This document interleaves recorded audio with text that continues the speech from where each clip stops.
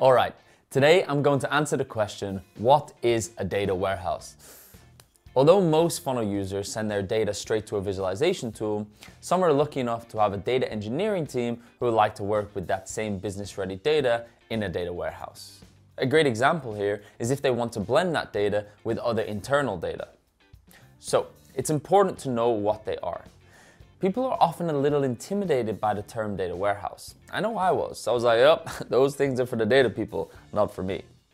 Whilst I still think they are for data engineers and data analysts, it's important for marketers to know what they are so you can speak the same language. In general, a data warehouse is a system used for reporting and data analysis and it is considered a core component of business intelligence or BI. At its core, a data warehouse is a home for your data that's generated in other corporate applications, like your backend sales data or your marketing data from each platform.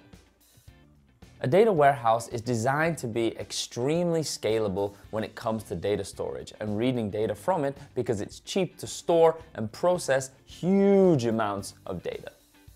Historically, businesses had data warehouses on premise, like actual servers packed with data. I know, I know, it sounds like a movie, right? But more recently, data warehouses tend to be cloud-based, like Amazon Redshift, Google BigQuery, Snowflake, etc. Listen, if you want to know more about sending your analysis ready data to a data warehouse, get in touch. That's it for this week's funnel tip. Thank you very much.